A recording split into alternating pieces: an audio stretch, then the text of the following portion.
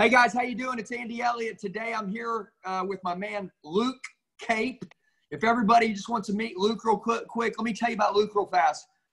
Luke is how, how old are you, Luke? Uh, 22. Luke is 22 years old. He's been selling cars since you were what, 18? Is that right, Luke? Since I was 18, yeah. Since he's 18. Luke's dad owns a car dealership.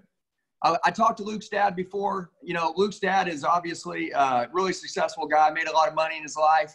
And he says, Hey, uh, take my young buck son, Luke, here under your wing, teach him, and uh, let's let's grow on some wings and let's let him make some big money.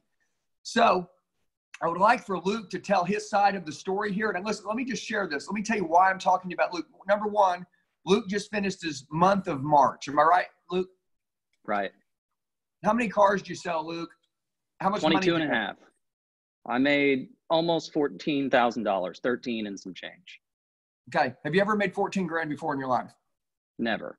How's it feel? It, it's a feeling that I can't even describe. It's it's awesome, man. It's what I've wanted ever since I got in the car business. And you're just getting started. Uh, guys, I'm going to hand this over to Luke and I'm going to tell you this. In the midst of hard times, in the midst of everybody right now wondering, you know, what's the next step? Let me tell you what steps, let Luke tell you what steps he took. And I want you guys to listen to this. And I would love for you to be encouraged because I know Luke, okay? And Luke has been through some really hard times. Luke has been really discouraged before. Luke has got his butt kicked before. But Luke is coming up and coming up fast just within the last couple months, right, Luke? That's right. All right, Luke, I'm going to hand it over to you. Why don't you tell them a little bit about how we met and uh, go from there. I want I want you to tell them uh, leading into last month. How did you have such a great month? What did you do? And um, I would love for you to share some of these gold nuggets that salespeople can take with them to crush it to the next level. Man, so so first off, um, kind of how I met Andy was uh, I the the store that I first started working at. Um, I had a salesman there who I went to high school with, and uh, he told me he said, "Man, this Andy Elliott that I used to work for, he was my GM. He he knows his stuff, man. Uh, so I started talking to him about about Andy, and about another year went on. And I I met Andy going through the his seminar. Went to the seminar. Uh, changed my world dramatically. Not only just with the closes and the different things he's taught me how to maximize my car deals and how to sell more. And uh, he he really taught me how to stay motivated, how to keep motivated. Uh, when you, you got that five o'clock day, how to to stay till eight, how to be happy about it, not to, to be to be dragging around, um, and coming to work to work, not to hang out with your buddies, not to to whine and moan about what's going on outside and who's doing what and who's doing this. Um, he really has taught me to come to work to work and constantly stay productive. I mean, if you find yourself not being productive, like, uh, man, I try to just what what can I do to be productive right now? So, look, what so what you're saying is you're definitely a loner right now. Am I right? For sure, for sure. Yeah, I don't hang out with anyone at the store right now. Okay. One of one of my best buddies that I went to high school with, um, we we don't even talk in the dealership because he he's kind of doing the same as me you know he he led the board this last four or five months and man he he taught me that as well and andy taught him that um that you got to be a loner it, you don't come to work to socialize and hang out with your friends i mean at, home we talk and stuff but uh, at work we just we don't even talk at all and are you talking about bryson yes okay let me ask you this is has bryson been the top salesman every month uh, the past four or five months, yeah. You got him, didn't you? I did. Yeah. yeah. How does that feel, baby? Man, it, it feels good. It feels good. That's it called fun really... competitive, man, isn't it? Yes, it, it's really fun when you have someone in the building that is kind of your style and you're chasing. It's it's really fun. You know, we were we went head to head, and actually at one point in the middle of the month, uh, Bryson was four, five, six units up on me and then four days later i was ahead of him you know that, that was cool because there was at one point in the month that i was i noticed my head getting down like man bryson's going to beat me and i just kind of had to slap myself across the face and go man what are you what are you talking about you got this and i just uh, i powered through it and made it happen i love it man um, so basically in, in in all if you had anything to say to somebody, my bad. Can you hear me now? Okay. Yep, if you had yep, got you. anything to say to somebody, whether they're 20, 30, 40, 50, 60 years old, I don't care. For everybody in automotive sales right now, with everything going on, if you had to give some advice, what would your advice be, Luke? Man, my advice would be to lift your head up and be a one percenter right now. And by that, I mean, uh, I would say 90 plus percent of salespeople right now are getting down about this coronavirus and man, we can't make money right now. There's this going on and this going on. Now's your time to shine because so many people have just laid down and not knowing what's going to happen and being scared. I mean, you you have to push through that and you got to keep selling cars. The economy goes on, the world goes on. So you got to be that one guy in the dealership right now who's pushing hard and you're you're going to make it. You're going to do well. Coronavirus or not, it, it doesn't matter. And if their dealership shut down and they can't sell, what would you recommend them to do?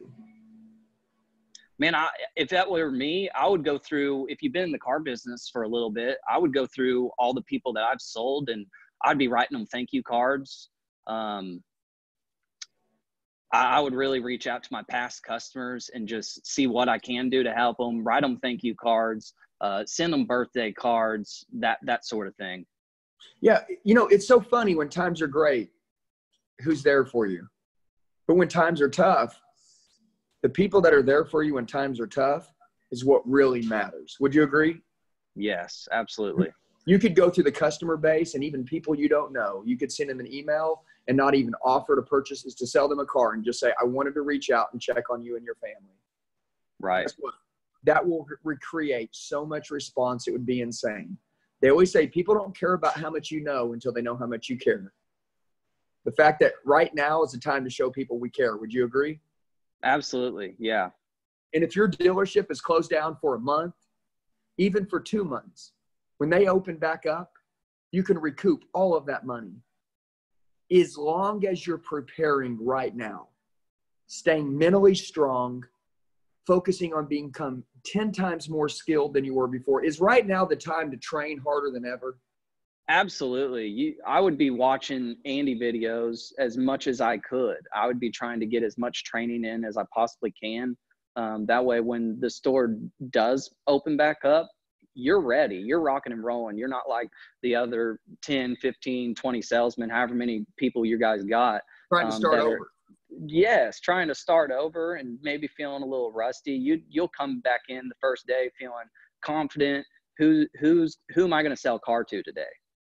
Hey, let me ask you a question, and then we're gonna we're gonna finish up here. Number one, I'm really proud of you, uh, guys. Like I said, Luke, top salesman of the month, 14 grand, 22 and a half cars, best month of his life, 22 years old. Guys, everybody has their best month ahead of him, and Luke is just getting started. Um, guys, it's March. Luke, you came to the Master Closer Seminar in December, right? Yes.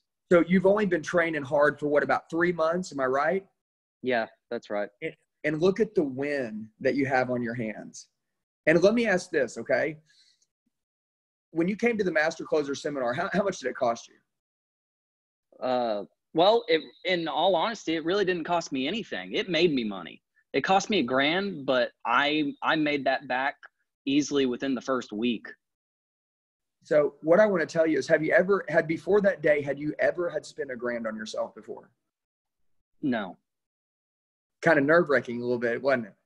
It was when when you first reached out to me and tell me it was a grand. I was like, oh gosh, man, I I don't think I can do that. And uh, man, if you don't have if you don't have the money, you got to find it because it takes money to make money.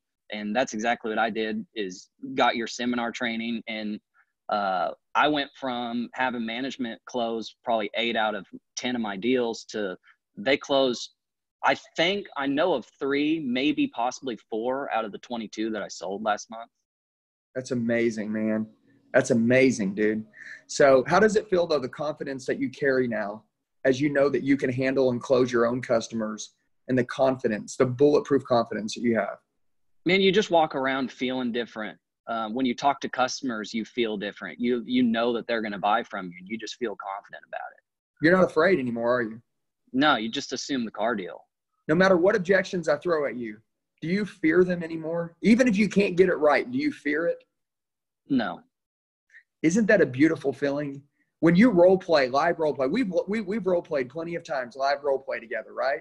And right. every time you do it with on the spot in front of everybody, how does it feel? It sucks, right? Yeah. How does it feel when you walk away though? Oh, it feels great. Yeah. Isn't Matter that, of fact, there was, I used to never ever role play and I'd been dodging it and dodging it. And here about a month back, Andy kind of made me do it really. And I, that was the best thing that he could have done for me because I just, I felt so much more confident after that day. Yeah. What brought you out of your shell? You know what I'm it saying? Did. It did. Yeah. I love it, dude. Listen, number one, I'm extremely proud of you. And I'm just going to tell you this. Um, this is a video I want you to look back on in a year from now and say, my gosh, man, I'm sitting here making $28,000. I remember that first 14 grand milestone. This is beautiful. You're 22 years old, man. Your, hot, your life's going to be amazing. It doesn't matter what age you are. Everybody has a giant win waiting in front of them, just like Luke. You have to see yourself as an investment. You have to know that you're capable. You can't stay around people that think small, right, Luke? Luke, anytime I'm around you, do I think big? You you think really big, yes. Do I let you think small? No. Right? And guess what? You're finally realizing that you're starting to max out your full potential. Your potential was huge. I saw it way before you did. But guess what? You had to take action on it and bet on you, and you became your own biggest fan. And now you're rooting for yourself, you're pushing, you're training, and guess what? You're at the top of the sales board. Now they're going to be chasing you, bro. So you got to stay on top. Yep, got to stay on top. Yes. You're just along for the ride, man. It's Luke City from now on, baby. yes, that's what it yes, is. Man. Well, listen, dude, I appreciate you, Luke. You're amazing, guys. Um, everybody in the, in the, comments below, if you love the video, if you like it, put up a like sign. And like I said, um, if you want to reach out to Luke, you're welcome to reach out to him in the comments. He's an awesome guy. Um, he's 22. He's just like all of us. He's nothing special. I'm nothing special, but we train hard. We work hard. We realize that there's a bigger life for us. We know how our future looks. It's the way that we create it today. Am I right?